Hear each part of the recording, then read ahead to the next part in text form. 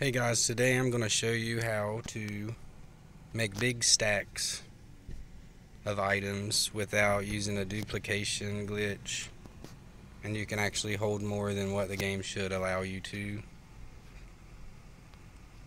And it's a lot easier than using the duplication glitch. First you need an empty chest Then you open it.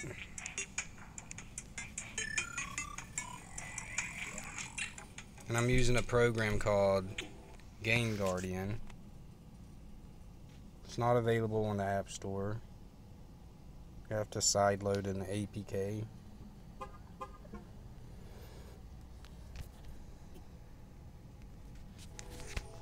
Then you open Game Guardian, pick Terraria.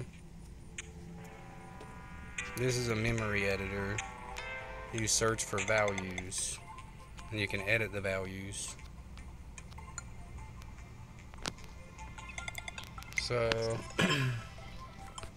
I'm gonna put bombs in this empty chest. And there are 14 bombs. So I'm gonna search for 14 because that's what I want to edit.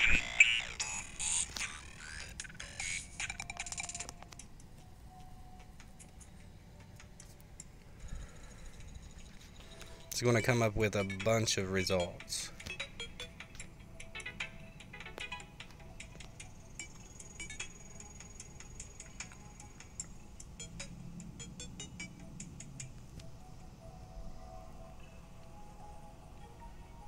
Now I'm going to change the amount that's in this chest. I'm going to take out four. And there's 10 left. So I'm going to search for 10. There's only 41 of those. Now I'm going to take out just like one more. Now there's nine, so I'll search for nine. There's only three. There's usually three that you come up with whenever it's ready to actually change the value. Pick the top one. I'm going to change it to 9,999 and it changed the bombs to 900 or 9,999 and that's all you have to do. It's pretty cool. You can also use Game Guardian for things like uh,